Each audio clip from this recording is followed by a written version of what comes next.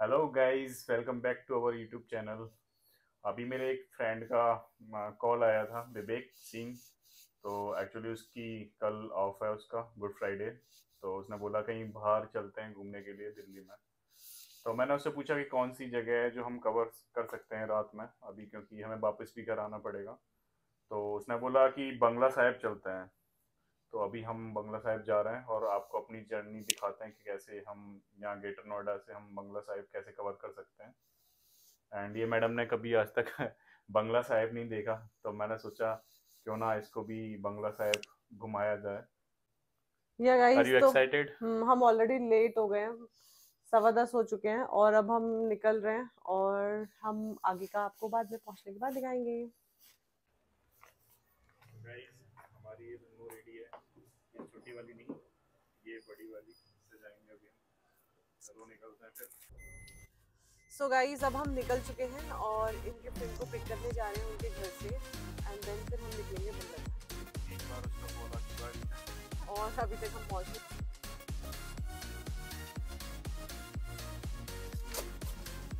तो दोस्तों मैं आ चुका हूँ अपने फ्रेंड के घर एंड हम उसको यहाँ से रिसीव करते हैं। नाइट आउट कैसा जाता है हमारा? विवेक? अबे आएगा या फिर आज यहीं रहना है? सो so गाइस अब हमने टिया को पिक कर लिया है उसके घर से और हम जा रहे हैं बंगला साहिब। क्या से ये क्या से ये ये we are going to Bangla Sahib. So guys हम निकल चुके हैं। कहाँ के लिए टिया बंगला साहिब। गाड़ी गाड़ी से हम बंगला साहिब जा रहे हैं गाइस टिया कह रही है, गाड़ी से हम बंगला साहिब जा रहे हैं। हाँ गाड़ी से हम बंगला साइड जा रहे हैं, ठीक।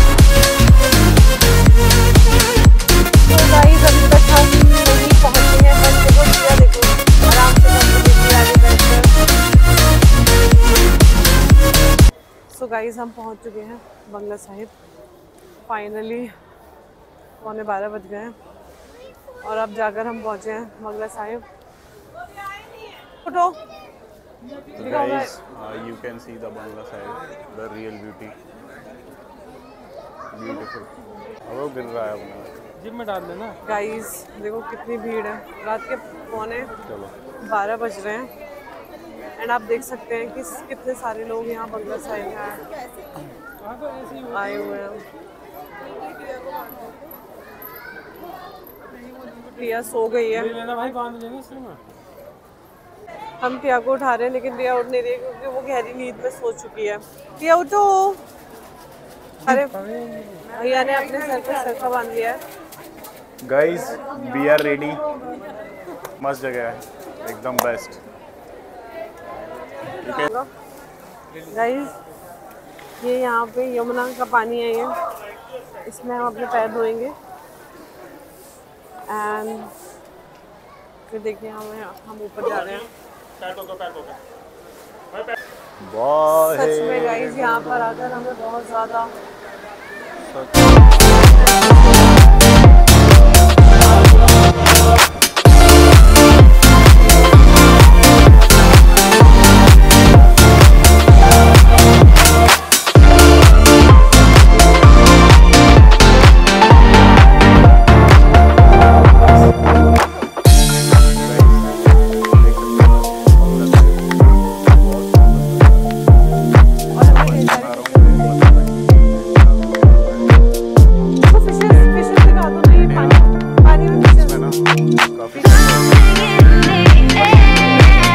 गाइस हमारी गाड़ी में डीजल ख़त्म हो गया था तो हम यहाँ पेट्रोल पंप पे रुके और हमें इसमें डीजल डलवाना था लेकिन यहाँ के भैया ने इसमें पता नहीं वो किस हरी भरी में थे कि उन्होंने इसके अंदर पाँच लीटर पेट्रोल डाल दिया। उठा लेना ऊपर को भाई।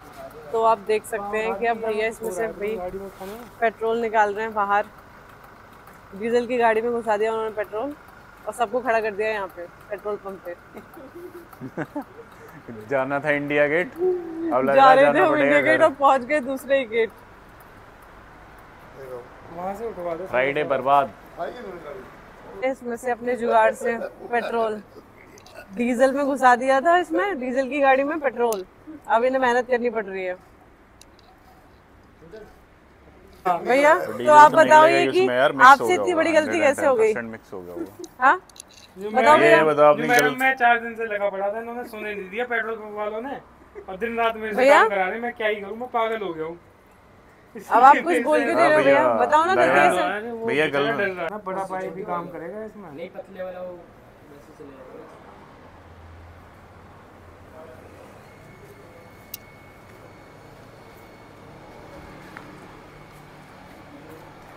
देखो भैया मेहनत भैया मेहनत कर रहे हैं ये इसमें से पेट्रोल निकालने के लिए क्या करें? अब गलतियाँ किसी से भी हो जाती हैं भैया से भी हो गई कोई दिक्कत नहीं है। बस ये ये गलती सुधर जाए तो हमें ठीक लगेगा।